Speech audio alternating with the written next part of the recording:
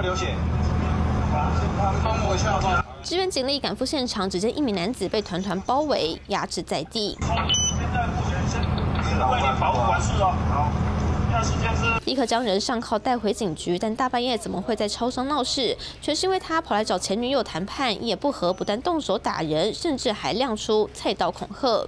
我下来买宵夜，然后他就是跑来我家跟我说要跟我聊聊，他就说我还没讲完，然后他捂住嘴巴之后。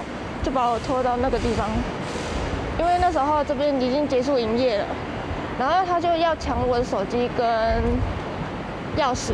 事发在二十三号凌晨十二点多，新北市的购物广场，被害人在交往期间发现被前男友偷拍，分手后提告，没想到对方却要求他跟检察官说自己也知情，等于是翻供。被害人不愿妥协，没想到却被拳打脚踢。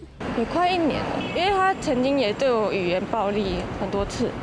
然后我就不想要理他，他也要求复合，可是我不要。回想事发当下还余悸犹存，手脚太阳穴淤青也都还没消退。幸好事发当时有热心民众建议永维帮忙，否则后果不堪设想。那个女生被打得蛮惨，如果我不帮忙的话，那女生可能真的很危险。